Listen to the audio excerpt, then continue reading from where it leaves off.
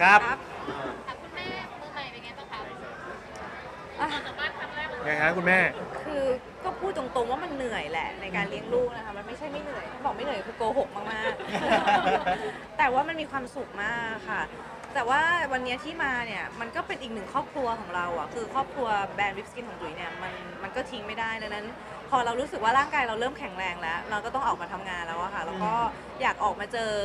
พี่น้องตัวแทนนะคะ แล้วก็ลูกค้าแล้วก็แบบแฟนๆ หลาย ๆ คนที่เราก็ห่างหายไม่ได้เจอนาน ยิ่งช่วงจุ๋ยท้องเนี่ยจุ๋ยแทบแบบอยู่บ้านตลอดอะไรเงี้ยเพราะเราก็กลัวเรื่องโรคภัยไข้เจ็บแล้วก็รักษาตัวอยู่ที่บ้านด้วยอะไรเงี้ยค่ะอย่างช่วงที่ผ่านมาเป็นไงบ้างตอนแบบดูแลน้องเพราะว่าเห็นแบบตอนปีใหม่ก็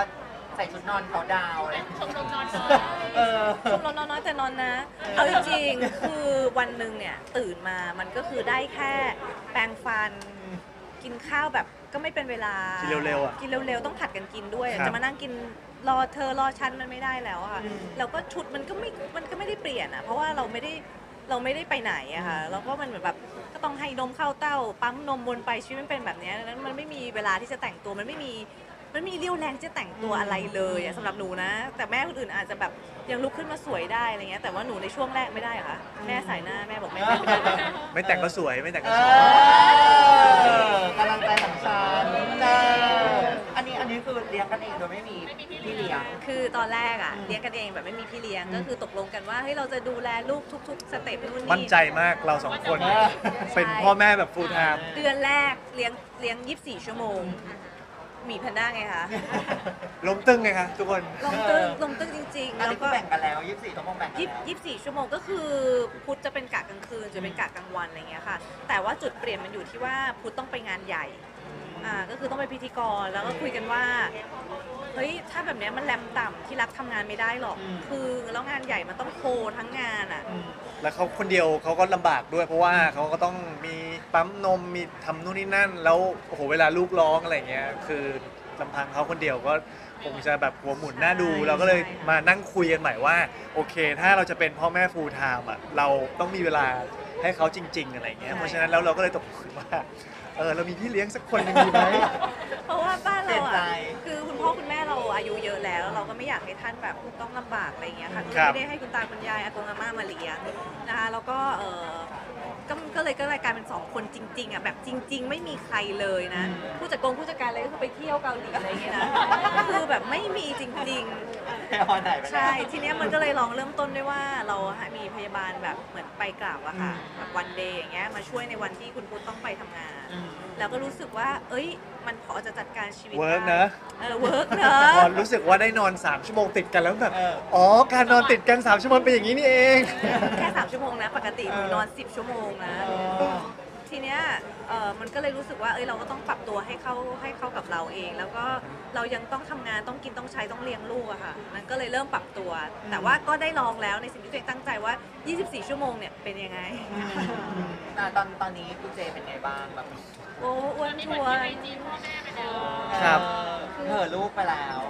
มันไม่สภาพมันไม่น่าจะถ่ายลงไอจีไงตอนอยู่บ้านอะเอาจริงลูกลูกๆ ไม่เราอะหมายเอาถึงเราเราอะก็เลยลูกเลยต้องยึดไอจีครับ แล้วก็มันเหมือนเห่อะลูกด้วย มันเหมือนแบบเขาทำอะไรมันก็น่ารักไปหมดแต่เครื่องหน้าเขาชัดมากเลยโถมโถมผมหนูแบบเดชาบุญดีใจมากคือไม่รู้ไม่รู้เหมือนกันว่าลูกจะแบบออกมาแบบไหนออกมาเราได้แต่สวดคนต์ภาวนาขอให้เขาแบบแข็งแรงสมบูรณ์ครบทุกอย่างร้อยเปอร์เซ็นต์อะไรอย่างเงี้ยค่ะแล้วก็มีคำหนึ่งจุ๊บแบบว่าอยากให้ลูกแบบ เหมือนผมผมมาผมโดกคิ้วได้หนูนะ อะไรอย่างเงี้ยนึกออกว่าก็ได้ รู้สึกว่าก็ก็ดีใจอย่างที่เราแบบได้อธิษฐานสวดมนต์มาอะไรอย่างเงี้ยถึงไม่ต้องสวดมนต์ขอให้ลูกไปเลยคือก็สวดให้เขาแบบดีที่สุดเหมือนแบบอะไรดีๆ ลูกเอาไปนะ เอาส่วนเอาส่วนดีของแม่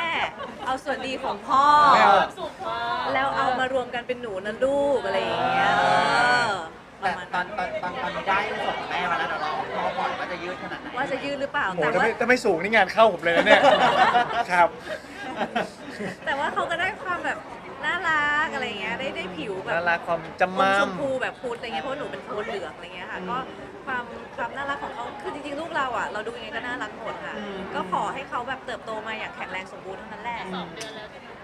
จะสองเดือนอีกสองวันใช่ค่ะจริงๆยังไม่ครบสองเดือนเลยแต่เด็กโตมาก ต้องดูน้ำหนักเกินเกณฑ์วันนี้ไหมคะดูเอาไซส์ใหญ่จังคุณหมอบอกว่านี่คือกราฟน้ำหนักหนูอยู่ตัวแถวนี้แล้วลูกคือปริ่มปริ่มกราฟแล้วปริ่มกราฟปริ่มกครัราฟอะดูน่ารักขนาดนี้ เต็มพร้อมอีกสักคนดีไหมคะ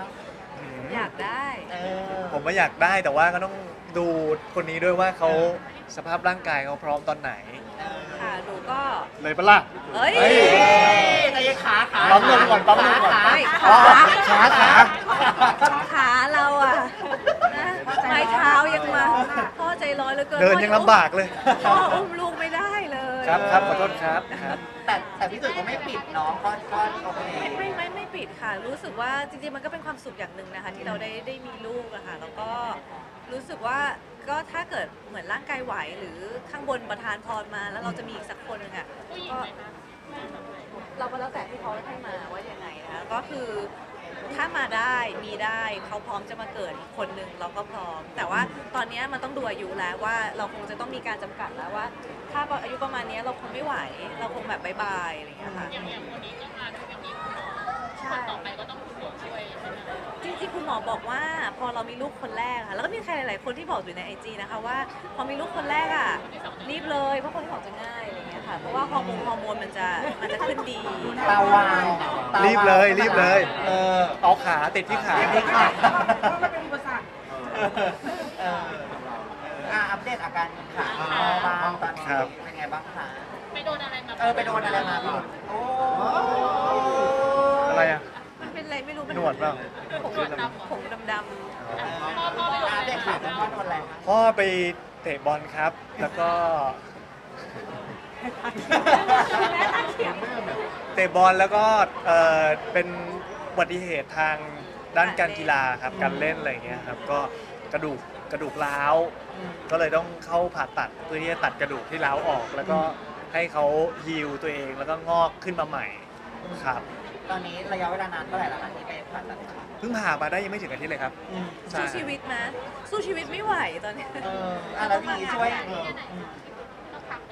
ประมาณเดือน คุณหมอบอกว่าประมาณเดือนเดือนกว่าๆเดือนครึ่งประมาณนี้ครับครับ ที่จะต้องแบบว่า อย่าไปลงน้ำหนักอะไรอย่างเงี้ยกับมันมากครับจะช่วยดูแลพี่เจไงครับนั่งให้นมค่ะ ให้นมแต่ว่าเขายังอุ้มได้เอออุ้มได้นับต้องเป็นแบบนั่งอุ้มอะไรอย่างเงี้ยแต่ว่าแบบอุ้มพากล่อมนอนอะไรอย่างเงี้ยก็ทำไม่ได้แต่นั่งอุ้มได้แกครับว่าตอนนี้พี่จุ๋ยต้องดูทำลูกเลยค่ะ ประมาณนั้นเลยนะคะ แต่ว่าคือเขาอะแต่ก่อนหน้านี้ค่ะคือเขาทำเต็มที่มากในการดูแลลูก คือเราไว้ใจเขาได้เลย แล้วเขาก็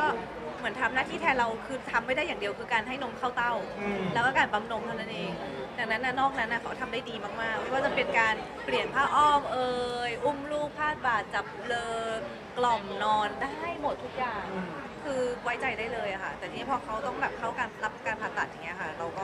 ็ต้อง เอาหน้าที่นั้นมาจริงๆแล้วมันเป็นแผนเขาเขาอยากพัก อยากพัก ก็จะถามว่าตอนเจ็บมาตาเขียวไหมไม่เขียวไม่เขียว เป็นห่วงเขามากกว่า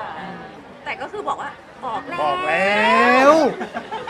เสียงเลเวลไหนเสียงเลยเสียงนี้เลยเหรอเสียงคือลากยาวจากเนี่ยเซนทรัลเวิลด์ไปนู่นอะประจวบอะเราเล่นเราเล่นเออเขาก็เตือนเราแหละเขาก็เขาก็เห็นเราเล่นกีฬาค่อนข้างค่อนข้างแบบ หนักอะไรอย่างเงี้ยเขาก็บอกว่าระวังเจ็บนะ เออเดี๋ยว มันเคยมีเจ็บแต่ว่าไม่ถึงขั้นรุนแรงแบบนี้อะไรเงี้ยค่ะครัแต่บว่าเหมือนวันเนี้ยถ้าจำไม่ผิดอะเคยบอกว่าที่รักวันนี้อย่าไปเลยหรือแบบจะไปเหรอวันเนี้เนี่ยยพอเขาบอกว่าอย่าไป มีเซนส์อะไรอย่างเงี้ยเหรอ พอเขาบอกว่าอย่าไปเลยปุ๊บเนี่ยวันนั้นจะต้องเจ็บทุกทีเลย เออ ทีหลังเนี่ยต้องบอกว่าพี่รักไปเตะเลยเตะให้มีความสุข อ่าโอเคโอเคเออ ไม่หรือว่าวันไหนที่เขาพูดเราก็ต้องหยุดหรือเปล่า เออใช่ใช่ ฝั่งนี้ทีมใคร ทีมพี่จุ๋ยพี่ตากล้องทีมใครครับ ทีมพี่จุ๋ยพี่จุ๋ยเออเอออะโอเค โอเคขอบคุณครับ